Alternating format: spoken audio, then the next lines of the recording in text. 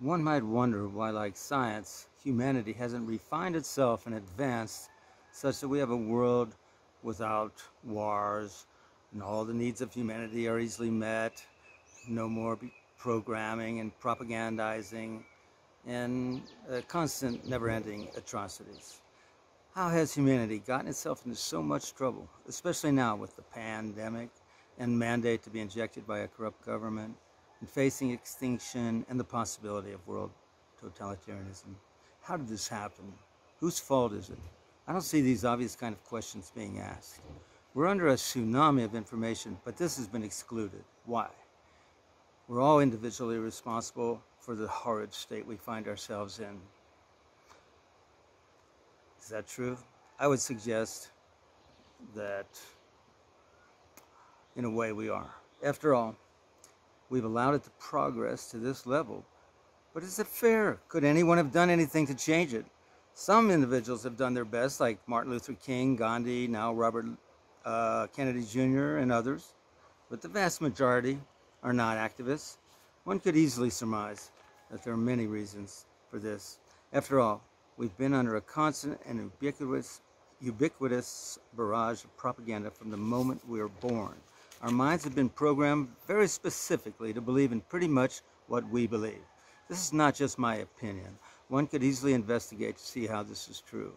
We depend on information to make decisions and come to conclusions. The media, the education system, entertainment, religion, all of it is controlled by a relatively small group of people. Vanguard and BlackRock are two holding companies that control most of the wealth the, of the world and own the banks, the multinationals, almost everything, as they're worth is in the hundreds of trillions. The reason why all of these horrors have continued, proliferated, and gotten worse is because humanity has constantly been deceived and manipulated. It's as simple as that. The popular idea that the outside is a reflection of the inside has some truth in it, but it can be confusing. The world is not a bad place because my mind is bad.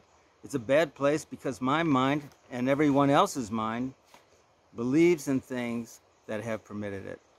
We believe that we're free, that capitalism is the best economic system to manage society, that war is acceptable, that voting for the best of the worst is democracy, the contamination of the environment is acceptable and allowable, etc., etc.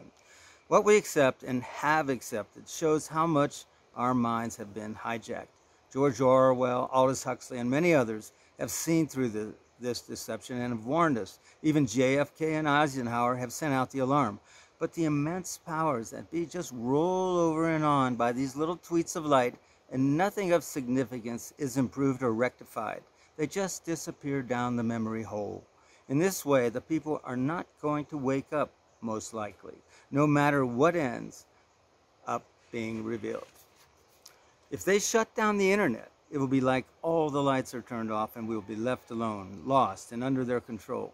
Even with the internet, we've not been able to self-organize and stand up for our rights, for the planet, and for all the species that are being wasted daily, and reorganize humanity to create a just and ethical society. We have remained divided and powerless. We find ourselves at the mercy of the merciless. Protests and revolutions have not worked. Overthrowing governments have not worked. Changing the people into government has not worked. A new strategy is that we must end vertical governance and self-govern, organize, manage horizontally, decentralized, localized, without politicians or lobbyists, by removing the entrance points for corruption. The only hope I see is for us to create a new, non-spying, secure internet, which some are attempting to do right now and to create a network of networks of millions to billions of like-minded individuals, groups, organizations, and networks with the most advanced tools for organizing and collaborating on all scales. It's a way to unify and become a force for good. We've been working on such a network since March 2020 and are still at least a year away from launch as it is complex and expensive. We want and need to collaborate with any and all who are doing the same or similar. But it isn't easy with problems such as interoperability, maintaining the sovereignty of one's organization, equalizing when some have invested much more time and money than others, creating the state of our tools, managing horizontally, etc. Now, the 4th of May, 2021, huge protests once again are surging and filling up the streets in many countries. Myanmar, that's Burma, Colombia, Lebanon, Germany, France, India, Hong Kong, Yemen, Algeria, Greece, Romania, Dominican Republic, just to name some. In the last two years, more huge protests than ever, and now again. But what have they accomplished?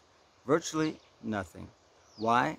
Because there's no coordination, no leveraging demand, such as restructuring all governments now from vertical to horizontal. It's like a traumatic moment when the individual has no recourse and must accept an untenable situation and can only scream. It's not a solution or a strategy. It's only a reaction. In many areas, the government, with their military and police, are resorting to brutal attempts at repression. Under the paramilitary narco government of Colombia, people are disappearing. In many places like Myanmar, protesting is putting your life on the line. The left people who want to move to a more just, equitable, just, and, and ecological world are asleep at the wheel, holding summits, talking endlessly about regenerative practices, eco-villages, etc., fantasizing, wishful thinking, in denial about what is happening right in front of the whole world, what needs to be addressed right now, before all these great regenerative ideas can be implemented at the necessary scale, is the root causes that must be addressed that keep and perpetrate, perpetuates mounting multiple crises. It's not hard for one to deduce that if vaccine passports become allowed in all the countries, that that will be all it will take to have humanity in an inescapable trap a la 1984. If to be allowed to travel, fly, work, go to school, to survive, one must be injected with whatever the government wants. Nanoparticles are very hard to detect we have accepted and invited the Trojan horse right inside of our bodies. I don't wish to sound alarmist, but I am sounding the alarm. They're using fear and lies to manipulate consent. Nothing new. The indoctrinated people are made to believe that anyone not wanting the jab deserves to have their freedoms restricted as they're jeopardizing everyone by refusing. And this is selfish, dangerous, and unacceptable. And in this way, all of us will be corralled into this horrifying tyrannous trap. Doctors are reporting much success with cures for COVID-19, link below, but they are suppressed and censored. Why? Well, anyone who can reason can see why, because they want everyone to believe that there is no choice but to get vaxxed. Many believe their propaganda, but it's the only way to end, that it's the only way to end the scourge. But is it really true? Obviously not.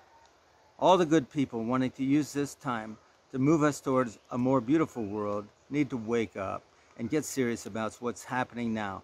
Shift the focus and get real. Collaborate to stand up for freedom at this moment. If you agree with this commentary, please spread and share it. You can use, we can use all the help we can get.